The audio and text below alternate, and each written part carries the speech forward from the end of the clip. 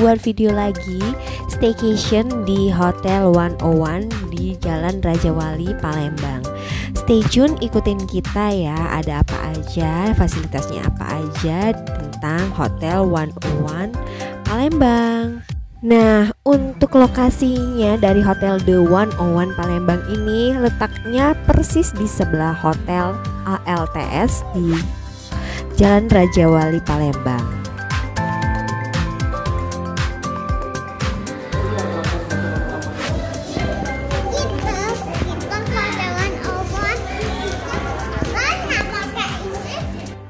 Nah, saat ini kita sedang melakukan check-in yang sudah kita booking melalui Traveloka. Nah, untuk proses check-innya di sini cukup terbilang cepat karena begitu check-in kita hanya sampai menunggu dan langsung diberikan kamar. Oh iya, jangan lupa juga dia ada eh, uang deposit sebesar Rp200.000 di sini. Nah, ini kita masih ada di jadi kurang lebih untuk lobbynya seperti ini. Ada beberapa kursi untuk menunggu, lalu ada lift dan juga restorannya yang terletak di lantai yang sama dengan lobby tersebut.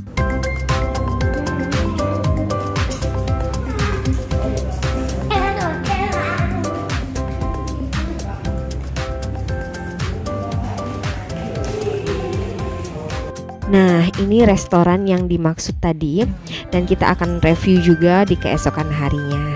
Jadi stay tune terus di video kita di Kantakensu Channel ya. Nah, kita sudah mendapatkan kamar saat ini untuk kita diberi di lantai 2 untuk kamar di kamar 206. Jadi langsung aja menaikin lift menuju lantai 2.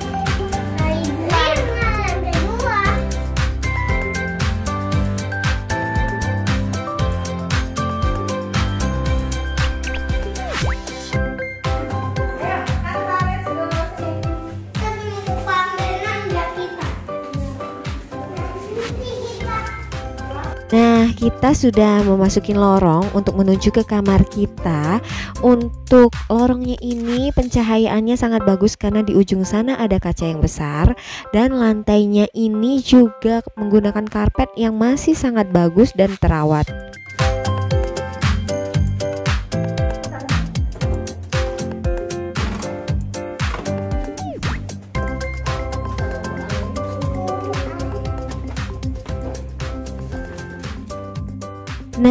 Yang pertama langsung aja kita review kamar mandinya. Jadi bedroomnya ini menggunakan pintu geser yang seperti ini. Bagus banget pintu gesernya dan ini wastafelnya agak lumayan kecil dan ada air hangat dan air dingin. Untuk perlengkapannya ini lengkap ya. Ada shower gel dan shampoo dan lain-lain. Untuk kacanya ya sebesar wastafel ya. Ada hair dryer, ini pintu kaca ini langsung terhubung dengan showernya di atas yang shower gantung.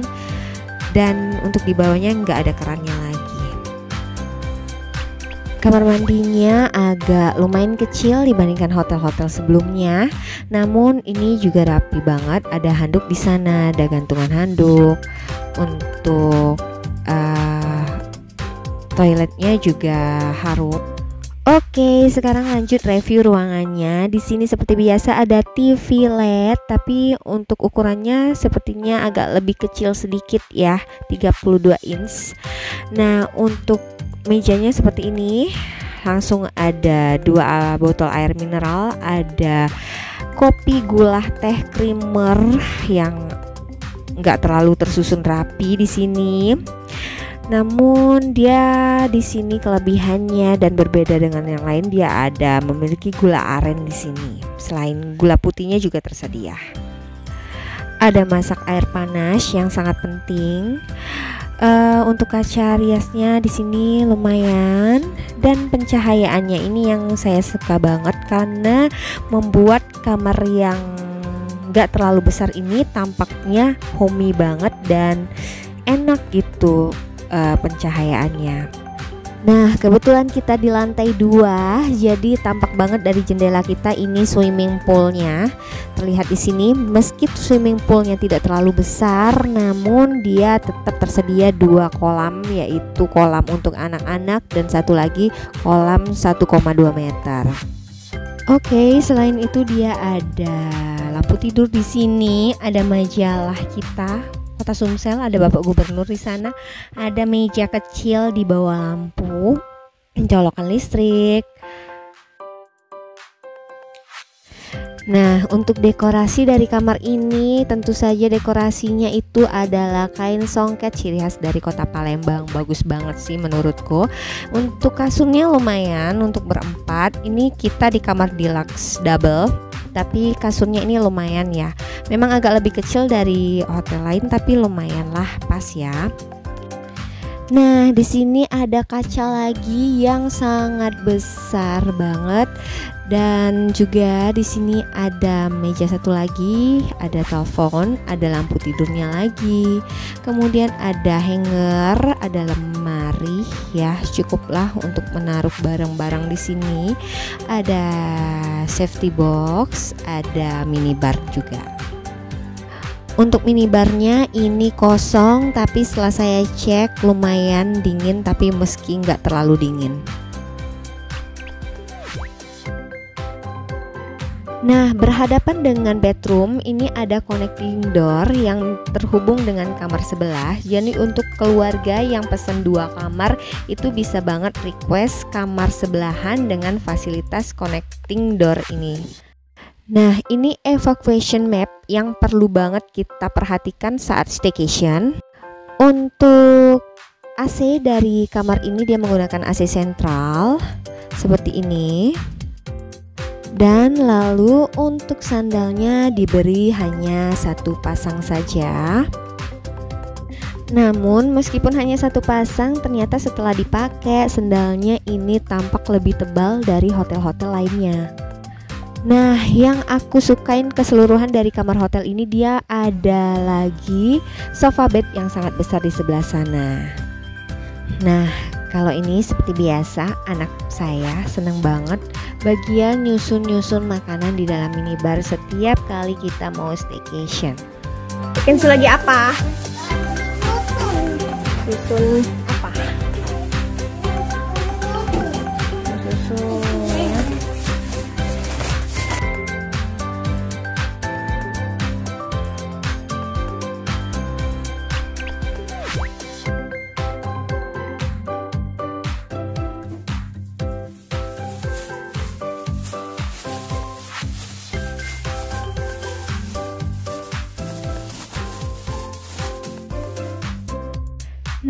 ini sudah sore hari, pukul 3 sore saat ini dan kita akan menuju swimming pool buat berenang.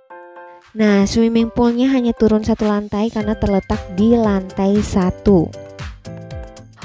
Oke, kita sudah sampai di swimming pool. Namun saya agak kecewa ternyata swimming poolnya benar-benar nggak ada yang jaga dan untuk handuknya semuanya nggak ada, nggak tersedia handuk yang bersih. Oke, kita sudah ada di kolam berenang. Ini kolam berenangnya lumayan bagus, walaupun agak kecil, tapi dia tersedia dua ya. Ada kolam renang untuk anak-anak, dan satu lagi di sebelah sana ada kolam dewasa yang kedalamannya 1,2 meter.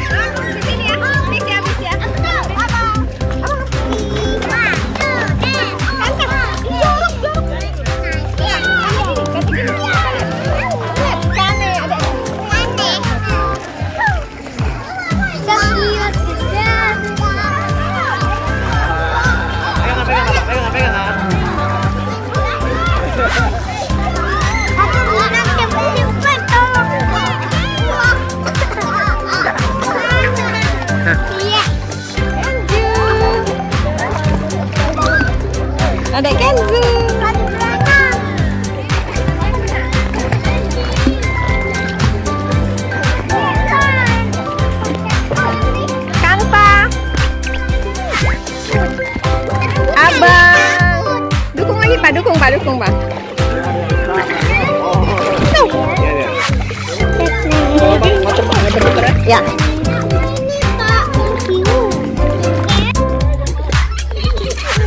Kanta.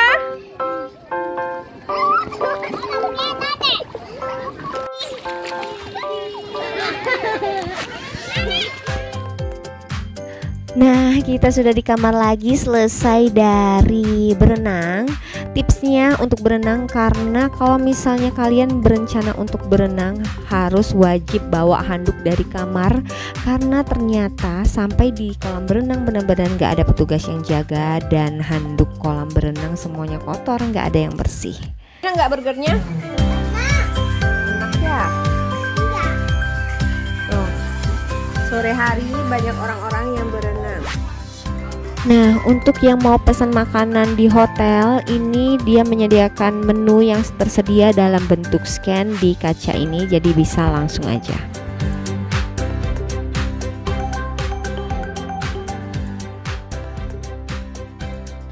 Good morning, ini sudah pagi hari, pukul setengah enam. Anak saya yang satunya sudah mandi dan yang ini baru bangun tidur.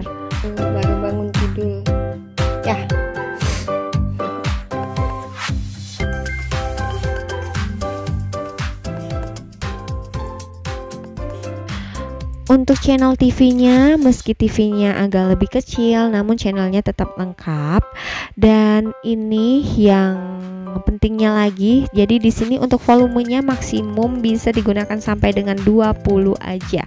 Mungkin karena supaya tidak terdengar di kamar sebelah. Bang Kanta.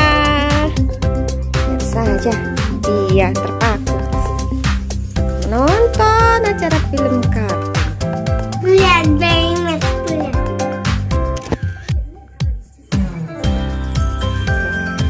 Ini sedang tergeletak di sini. Lihatlah dia, dia sangat menikmati kursi panjang itu.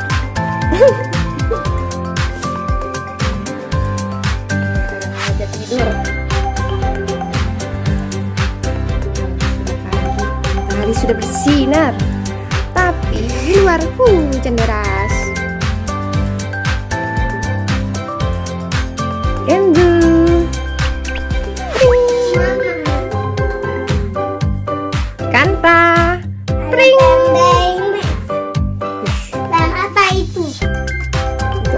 Film Baymax.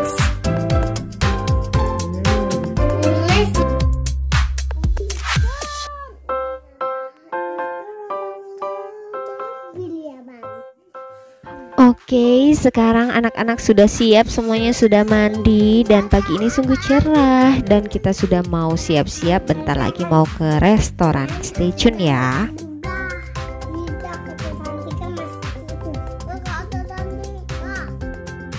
Nah, sekarang kita sudah mau mau memasukin lift untuk turun ke lantai satu yaitu ke restoran buat breakfast.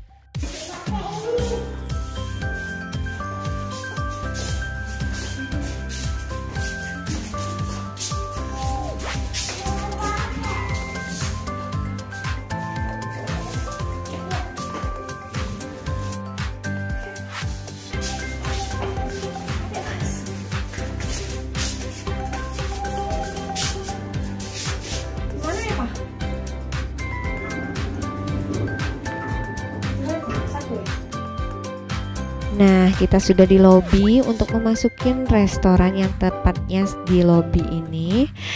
Oke. Jadi untuk restorannya ini eh untuk makanannya lumayan tidak terlalu bervariasi namun lumayan cukup untuk mengisi perut lapar di pagi hari. Kalau saya sih sama anak-anak saya yang penting di dalam breakfast ini tersedia nasi goreng dan juga ada sereal untuk anak-anak udah cukup.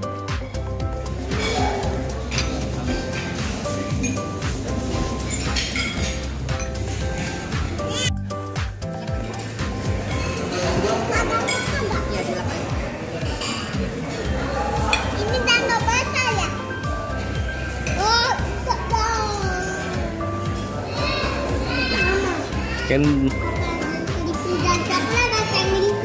Dek. Halo, dadah.